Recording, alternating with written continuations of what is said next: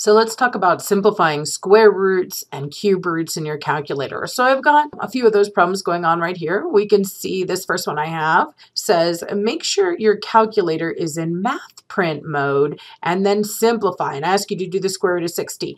Now, just a real quick hint at what's to come. Look down at number two. Number two says to do the square root of 60 again. You might be thinking, well, what in the heck? Why am I doing the square root of 60 two different times? Well, much like with fractions, how you can take things that you don't want to divide, like let's say uh, one half is one way to think about it is that is one of one divided by two. But you know, we just could leave it as a fraction, one half, or we could go through, do the division, get a decimal answer, 0.5. Division has two different possible answers very frequently. We can get fractions or we can get uh, decimals when we divide. Same thing with square roots. We can get two different possible answers. We can get a decimal approximation, or we can get an exact answer, also known as a simplified radical. So I have some clues here that number one wants an exact answer. Uh, one, it says just simplify. No language about rounding my answer. Also, this equal sign uh, says that I'm expecting what to know what this is exactly equal to. So anytime you want an exact answer, a really good idea is for you to be in math print mode in your calculator. So let's go check out how to do that. Okay, so here's my little TI-30XS multi-view simulator. This is very similar to what you'll have on the GED. Um, it'll be a on-screen option like this, and you can use it like this on the GED, but I highly recommend that you just have one in person so you can practice on it. So let's practice. So what you're going to want to do first is make sure you're in math print mode. So let's hit the mode button. And you can see here is my mode screen. And notice that the word math print on my screen is already black. So my calculator is already in math print mode. But what if yours was not? All you would do is use this arrow key here. Here's how you arrow around on the screen with this big round gray key here. So I'm going to go down to that last line and over to the word math print and then I'll press enter to select it and that's how I make sure I'm in math print mode. Now how do I get out of the screen? There's actually two ways. You can press second quit uh, but the easiest way is just to press clear and you'll leave the screen. And there you are. Now I know that I'm in math print mode and ready to get a simplified radical for an answer. So notice that the square root key is actually in green, um, mid middle left of your calculator, right above x squared. Anytime you want to use any of the green functions on the GED calculator, you need to hit this green second button. So I'm going to hit the green second button. So now that I can get my square root up here.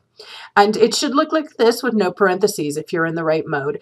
And then I'm going to hit 60 and enter, and you'll see that it gives me a simplified radical answer. It doesn't give me a decimal approximation. It does as much of the square rooting as it can, and then leaves the rest that can't be square rooted without decimals inside the house. It very much reminds me of fractions. That house is actually called a radical, but inside the radical. So it very much reminds me of fractions. So I just got a uh, exact answer or a simplified radical. Now, I do really want to show you guys the quick convert button. You don't necessarily need it for this problem, but what if you got this kind of answer and that's not what you wanted? There is a quick convert button right here above the enter key, so you could see this in both the simplified form and the decimal form. And we can see uh, that 2 square root of 15 is about 7.7. But you can see it's a long, ugly, nasty decimal. That's why uh, mathematicians prefer it as a simplified radical. So let's go back to our quiz here. So the answer that I should have selected here for number one is the simplified two square root of 15. Awesome. Now let's look at question two. Question two said, make sure your calculator is in classic mode. This time I want it in classic mode. Round your answer to the nearest hundredth. Well, why am I asking you to flip to classic mode? Classic mode behaves more like you guys's um, phones or the old-fashioned calculators we're used to. Almost always spits out a decimal approximation. And if you see here, I've got a lot of clues that I'm expecting a decimal answer here. One thing, it says round your answer to the nearest hundredth. That's decimal language. We're talking decimal places. I also noticed this little wavy equal sign. See it instead of a regular equal sign is that wavy equal sign.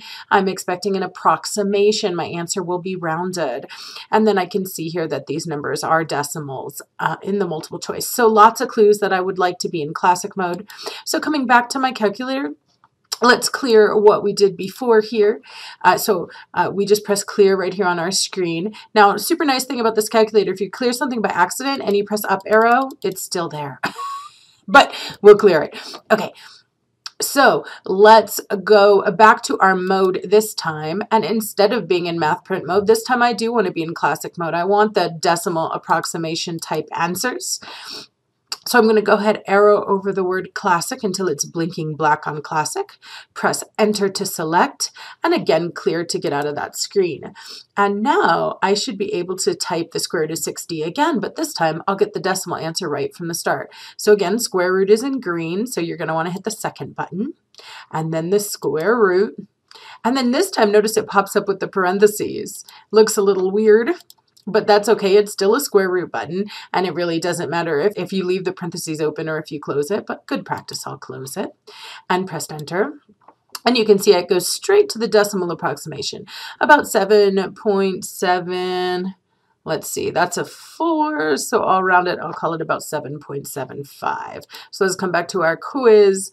Uh, there's 7.75. Wonderful.